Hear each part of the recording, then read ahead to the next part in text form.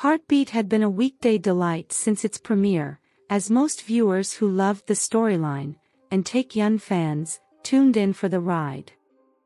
As the story progressed, some of us stuck with it for not only the easy comedy, but to see how all the elements would come together in the end, while hoping for a happy ending for the lead couple. But what viewers got was something akin to a cliffhanger. By the end of episode 15, I had nurtured the hope that somehow, In-hae and Woo Hyeol would find a way to be together in the end. Many things were wrong and right with this ending. Let's start with Man Y. It seemed like the writer didn't know what to do with Man Y in the end. They made it seem like his main role toward the end was to bring Woo Hyeol out of hiding by endangering In-hae.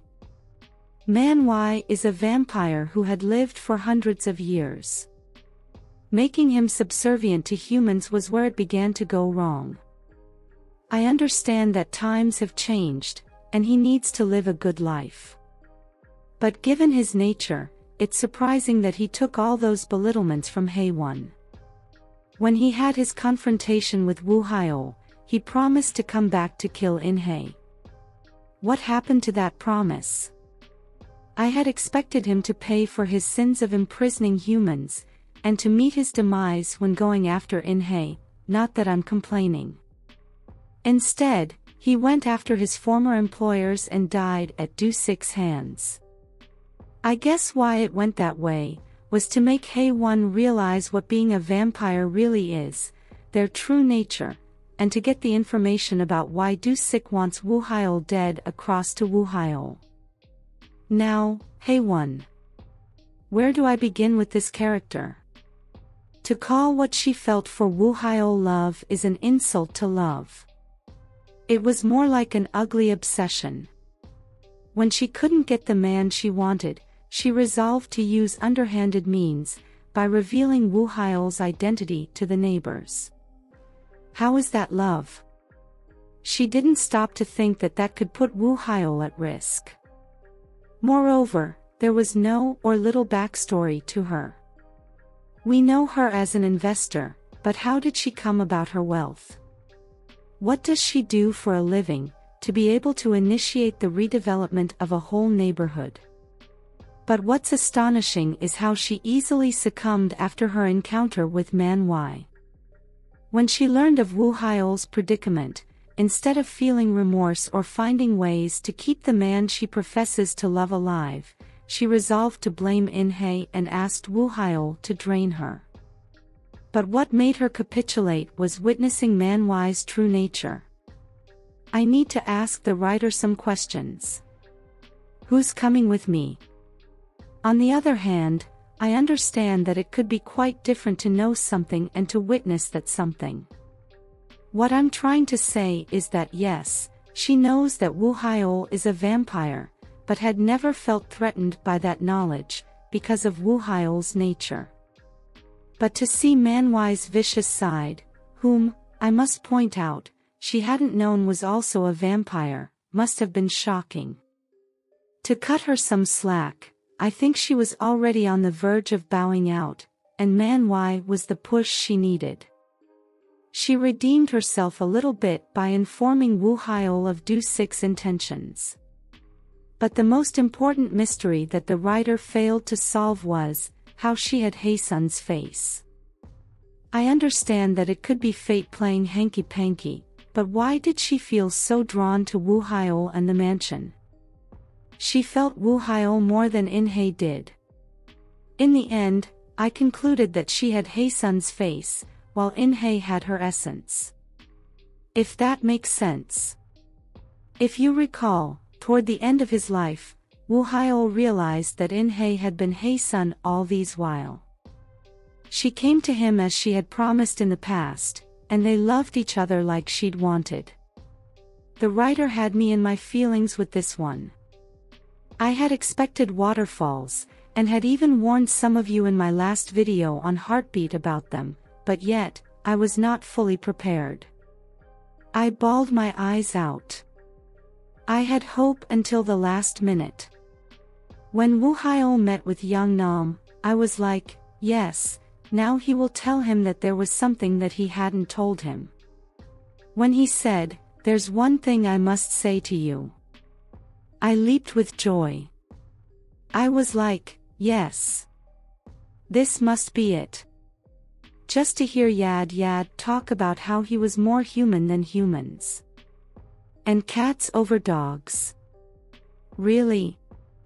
Then, when I saw Inhe drip blood onto his lips, I was like, yes. This must be it, only for the writer to leave my mouth on the floor. What was that? Did she or didn't she drip her blood on his lips?